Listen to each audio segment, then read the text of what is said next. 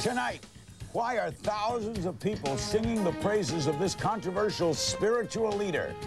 We'll meet Gwen Shamblin, who, says, who says she can teach you how to fill up on God instead of filling up on food and drugs or any other addiction. It's all next on Larry King Live.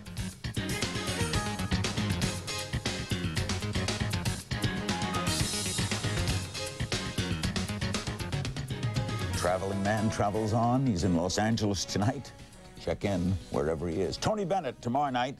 Our guest tonight is Gwen Shamblin. She is founder of the Weigh Down Workshop and author of The Weigh Down Diet, published by Doubleday. It's been on the bestseller list and on religious bestseller list for uh, well over 16 months. It's great to have her with us. She is a registered dietitian and, as we said, founder of the. All right, what is the Weigh Down Workshop? Well, it's a seminar that's uh, now currently in 28,000 locations. About 37,000 classes are going on throughout the country. Other people do them then? Yes. I'm, well, I'm on video and audio, so they're just turning on a one hour long video, and I'm lecturing from video at this point. It got too big to do individual ones, so put it on tape. Who came up with the idea of Weigh Down, W E I G H? My husband. he said that's a good name. We were we were throwing out. Now, I actually it probably is a silly name in terms of length, and no one can spell it. They don't know how to spell W A Y or is it W E I G? It's a play on words. What it meant to me, what is it was the way to get your weight off. It was the way to get down and uh, on anything actually, as far as drugs or or other things that we we'll uh, get touch into all on. of that. Yeah. Were you fat? Oh, I wasn't over. Oh, I knew no end to fullness, but I was only about 20 pounds heavier than you see me because I exercised like a fiend and was I never could throw it up, but I tried and I was dieting constantly. I was dealing little meals and doing everything. I was a registered dietitian. I tried everything in the books that it said to try, and then I flipped to the back of the book and when that didn't work and tried everything that said unreliable weight loss methods and So uh, what did work? well, what happened to me was that being a believer, I said God's been left out of the books. And so I started looking at skinny people, you know, and said, look, this is not the way uh, I think he's made it. I mean, I talked to someone who wasn't sucking it out with suction assisted lipectomies, who wasn't uh, trying to take it off with a pill, who wasn't exercising it off, somebody that was just a regular person. And I, I said, can I watch you eat? Because skinny people can't tell you why they're thin. And so I said, let me watch you eat. And so we went to the local hamburger store. I had already eaten my Big Mac, my large fries, my milkshake, and I was nursing a diet drink. And she had only eaten, in that amount of time, one half of her hamburger. I wanted her other half. I wanted that person's hamburger, and I didn't even know who they were. I knew no end to wanting more. And she said to me, I said, Well, why? I said, How can you stop? Are you sick? You know, and she And what says, did she say? She said, No, I'm not sick. I feel great. And I said, Okay, then tell me the truth. Are you really an American? And she said, Yeah, I'm from Tennessee. I said, Okay, that counts. But I said, she couldn't tell me wh- what was going to be the key to permanent weight control. That was the question I pursued for eight more years before I founded the Weigh Down Workshop. And that was, how did she have no desire at 10 o'clock at night when no one was looking? Why was it repulsive for her to continue to eat when, um, And when the it, answer was well, the answer was the heart. It's in the heart of man. What, what, what I had been doing, I got a master's degree in how to make the food behave. We pulled out the fat, threw in an artificial fat, pulled out the sugar, threw in an artificial sugar, pulled out the calories, and then we threw in some styrofoam or some hay or tree bark. Now the food was righteous. And, uh, and I said, um, you know, that's not going to work. Dieting is an incubator that's making us larger. Are you therefore And so- saying, Gwen, that an, an atheist can't be on a diet? He can't lose weight? Oh, he can lose weight. I'm not talking about losing weight. Actually, that's what my program's definitely about. My program's about the desire. How can you transfer over the magnetic pull of the refrigerator? I can now stop in the middle of a candy bar and have no desire to eat the second half. It's repulsive to me. I can do that out of fear. Not Fear, out of belief. but I I'm mean- afraid to be sick. overweight. Yeah. Okay, now no more battles for me. 20 years ago, 20 years ago, I don't battle with the food. I don't even think about food until my stomach growls. All right. Help, help me with something. Yeah.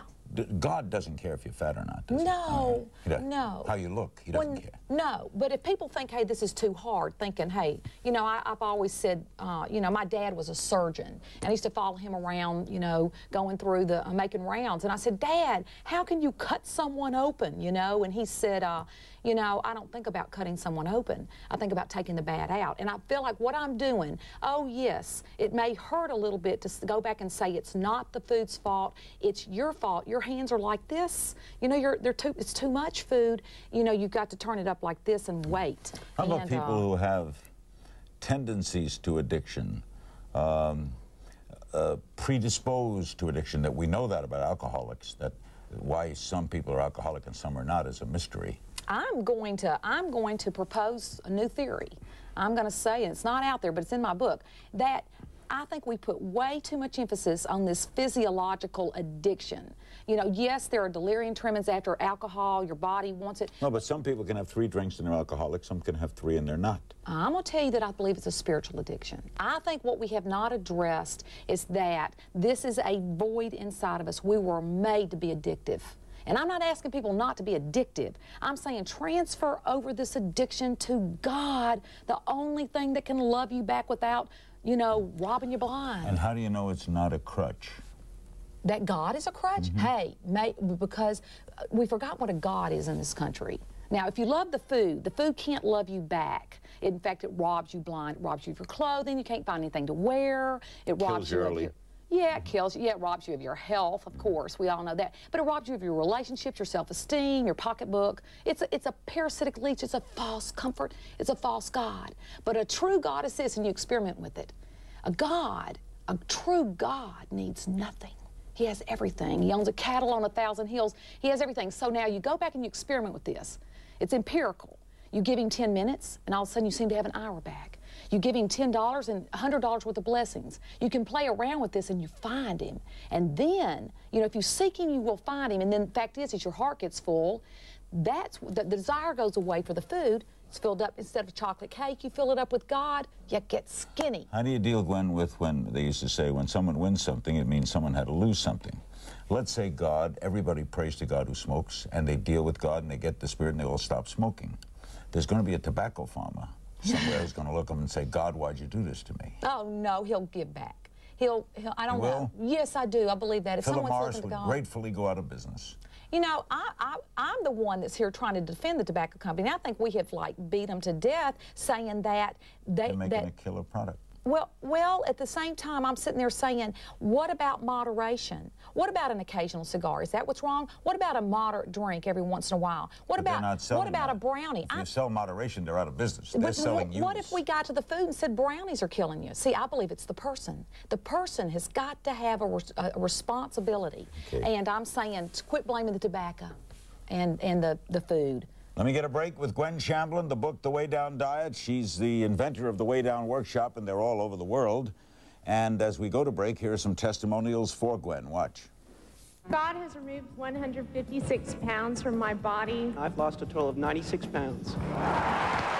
My stronghold was being in a sexual relationship for 13 years. He literally lifted me out of that sin because I completely surrendered. I was broken. I was helpless. I couldn't do it on my own. The Lord has delivered me from anorexia, bulimia, um, exercising um, over 17 years. And the further we got into it, God took me away from the weight aspect of it and began to show me that I was never going to be able to get us out of debt.